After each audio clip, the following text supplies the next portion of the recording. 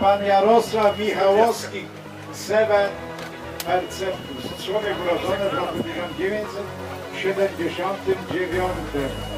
30 osób w imię, ludzie od komputerów, Olsztyna, Zielone Góry i przyjaciele. I pan szybko jeździ, dobrze pan jest z klasyfikacji generalnej.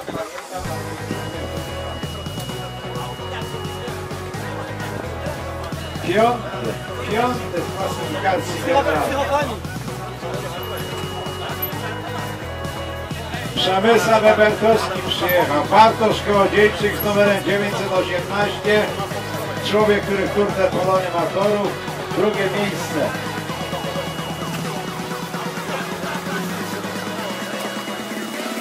Paulina była pierwsza we Pskowie.